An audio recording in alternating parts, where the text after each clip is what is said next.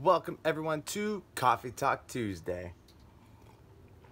Now that the holidays are over, I hope you got everything you'd ever wanted in life, but unfortunately now it's back to reality.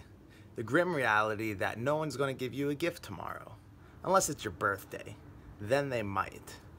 But at this point in life, you need to realize what do you actually need in life?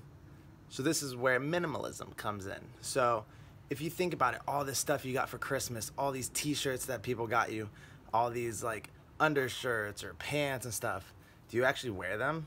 Is it your style? Maybe it is. Great, you'll use it. But now you have 40 other t-shirts in there to use. I look at it this way. Every new piece of clothing I get, I get rid of one piece of clothing. I don't need 300 shirts. I don't need 40 pairs of jeans. I have one pair of jeans. You've probably seen them. They're ripped. I try to be trendy but that's okay. So try to live your life on something that you live on a bare minimum, things that you enjoy, things that you need, and not just things that you want.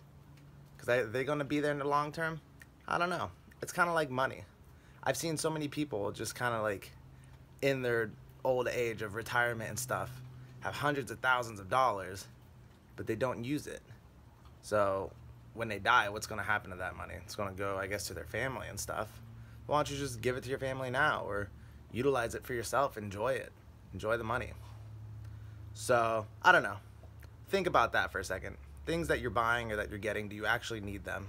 Maybe give it to somebody in need, like me. I need it. But I'm sorry for the shaky camera if it's shaky like this. I apologize. My camera decided to kill its battery and I forgot to charge it. So this is what you get today. On that note, until tomorrow on Coffee Talk on Instagram.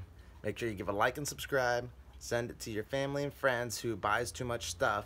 Tell them to buy less. And use that money for something good. Peace.